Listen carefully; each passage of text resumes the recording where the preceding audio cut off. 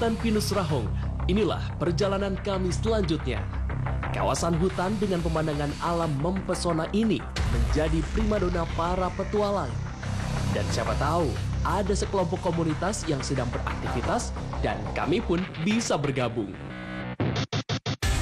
Ya, awalnya begini. Perjalanan kita Wah, Kang, ini di tengah hutannya ya, lagi rame banget, kumpul, mobil banyak. Ini mau ada kegiatan apa sih, Kang? Rencana kita eh, halal bihalal sekalian mau main-main ke hutan pakai mobil eh, four wheel Wah, mau ikut seru. Seru dong ini. Boleh? Boleh ikut Pak. boleh nggak Sip, Oke. Pucuk dicinta, ulang pun tiba. Mungkin itulah kata yang pas bagi kami. Kami diajak bergabung menjelajah alam Pangalengan menggunakan kendaraan medan berat alias off-road. Tentu saja, ini adalah ajakan yang tak boleh kami tolak. Oke. Jangan lupa safety belt. Dan untuk sesaat, ku terpaksa harus berpisah dengan temanku Zahra. Bagi kami, itu bukanlah masalah. Meski harus berbeda kendaraan, namun bagi kami, menikmati lanskap alam Pangalengan dengan cara off-road jelas merupakan pengalaman yang sangat berbeda.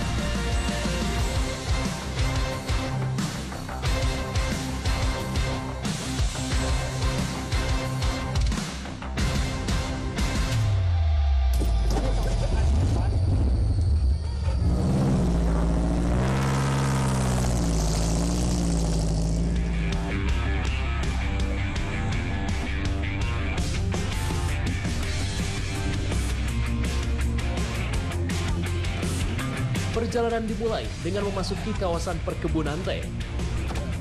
Mobil yang kami tumpangi pun mulai menerabas jalanan yang sempit dan berbatu.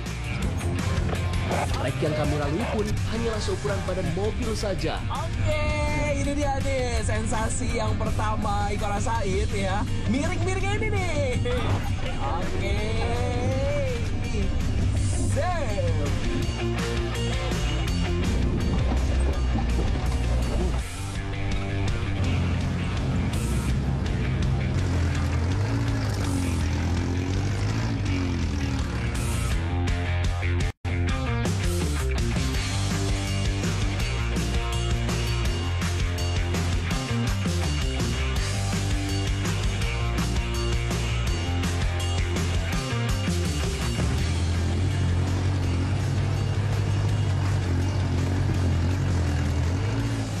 Karakteristik trek off-road di kawasan Rahong Pangalengan ini pun lumayan seru. Beberapa kali kami pun harus berpegangan erat karena medan jalan yang terkadang miring. Benturan, benturan. Oh. Nah, kalau kayak gini harus gaspol. Siap? Harus siap ya.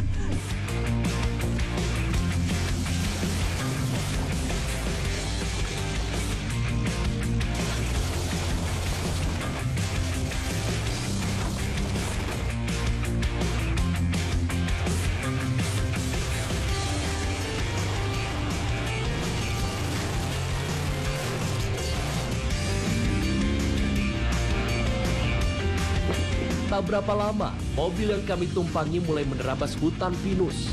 Treknya pun mulai bervariasi. Seru dan menantang. Inilah yang kami rasakan. Meski treknya tergolong kering karena kemarau, namun beberapa mobil kesulitan juga menaklukkan jalan yang mulai menanjak. Beberapa kali pula kami harus berhenti sejenak ketika ada mobil yang kesulitan menjinakkan trek ini. Beberapa mobil bahkan mulai terlihat bermasalah. Dan ketika ada mobil yang bermasalah, maka peserta yang lainnya pun turut membantu. Inilah sistem kekeluargaan yang terbangun dalam komunitas off-road ini. Mereka menanggalkan ego masing-masing dan selalu membantu setiap kali ada mobil yang bermasalah. Oke, di tengah-tengah trek ini ada kayak sedikit kendala, tapi ini nggak menyurutkan semangat kita ya, karena Chef Indonesia ini saling kerjasama ya. mobil yang kami tumpangi terus melaju membelah perkebunan dan hutan pinus.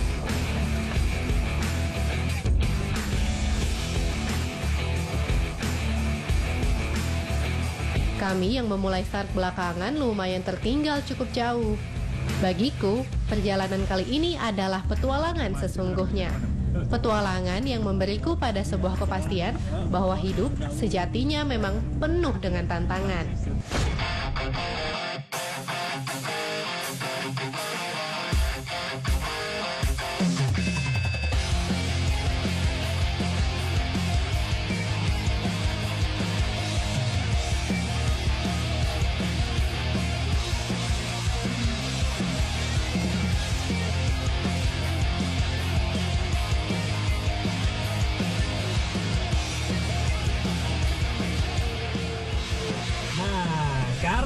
Kalau misalnya di dunia off-road ini kita cari jalannya yang luar biasa, di depan kita ini ada satu jembatan, jembatan kayu. Jadi yang diperbolehkan hanya drivernya aja. Jadi penumpang termasuk saya pun ini sekarang harus turun demi keselamatan. Demi keselamatan. Oke ya.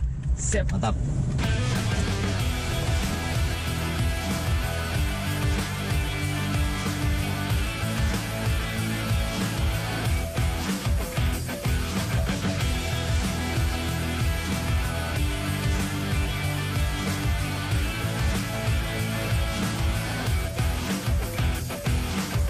Kang, kebetulan kan Kang lagi di luar nih. Boleh nggak kita switch? Oke. Ya, Lanjutan ya.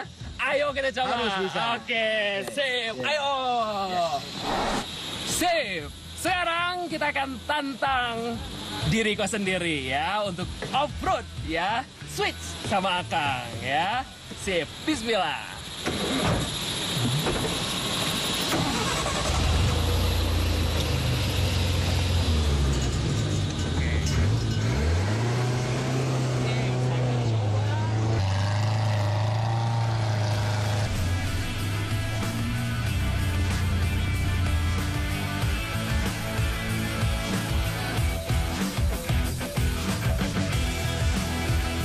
Tak terasa, senja pun mulai tiba.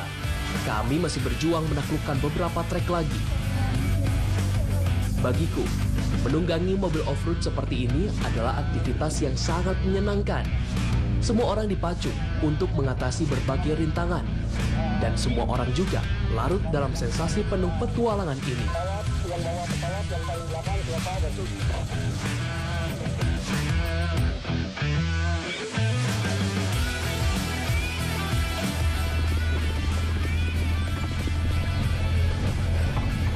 Bang, nggak kerasa ya? Ra, nggak kerasa ya? Nggak kerasa.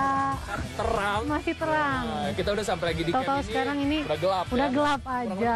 Kita tiga jam ya. Dua tiga jam adalah tadi Iya. mungkin kalau nggak ada yang trouble sama eh, kendala di trek sih saya rasa dua jam juga udah nyampe. Tapi sebenarnya itu sens- sensasinya ya Kang ya. Sensasinya, Bang, tadi kayaknya kita udah ngobrol juga. Raiko sebenarnya tadi udah ngobrol nih Ah. di mobil sedikit. Tapi sebenarnya ini Save Indonesia ini komunitas apa sih Kang? Nah, benar.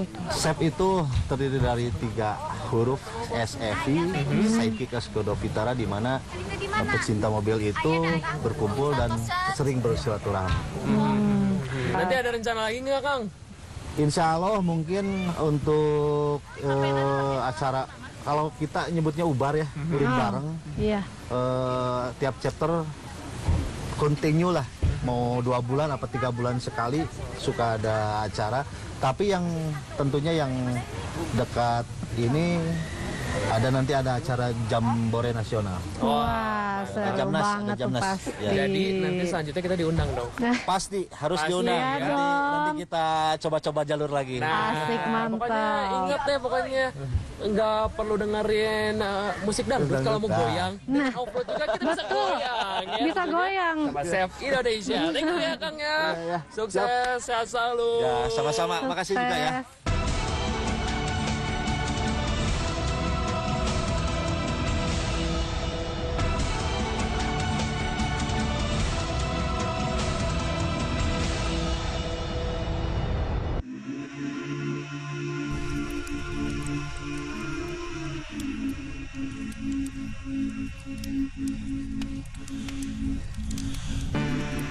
Berfoto dengan alam. Itulah keindahan paling hakiki. Dan ketika malam yang dingin itu tiba, cerita kami pun belumlah usai. Kami terus merangkai cerita tentang Pangalengan. Indahnya landscape alam, petualangan penuh sensasi, menjadi penggalan cerita kami hari ini.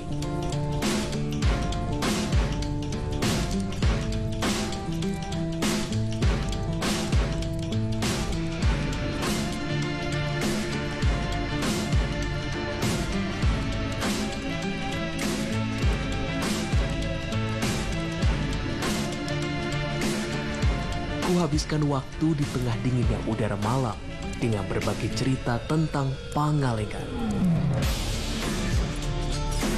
Cerita tentang keindahan alam yang nyata. Cerita tentang sensasi berpetualang. Dan cerita tentang rasa syukur kami atas tanah yang sangat mempesona.